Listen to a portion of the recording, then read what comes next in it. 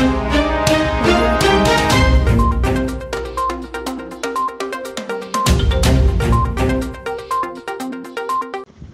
अलीगढ़ के कवारसी थाना क्षेत्र के नगला पटवारी पुलिस चौकी में पुलिस वालों ने एक दुकानदार को राशन का माल बेचने का आरोप लगाते हुए थर्ड डिग्री टॉर्चर किया। पीड़ित का कहना है कि उसको रात भर चौकी में रोककर उसके साथ जमकर मारपीट की गई।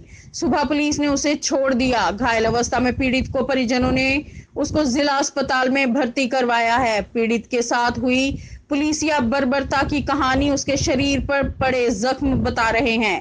हालत ये है कि पीड़ित अपने पैरों पर खड़ा भी नहीं हो पा रहा है। मामले का संज्ञान आने के बाद आरोपी तीन पुलिस वालों के खिलाफ मुकदमा दर्ज कर उनको निलंबित कर दिया गया है।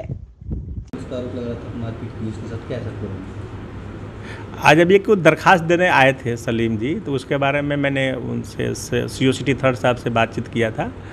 तो प्राइमा फेस आई उसमें लगता है कि उसके साथ में मारपीट हुई है। आ, उसमें संबंधित के विरुद्ध मुकदमा पंजीकृत करा दिया गया है और वो चौकी इंचार्ज और दो सिपाही जो आरोपी हैं वो they have been suspended already कितने लोग सस्पेंड किए सर वो दो सिपाही जो हुए हैं वो सस्पेंड कर दिए गए हैं।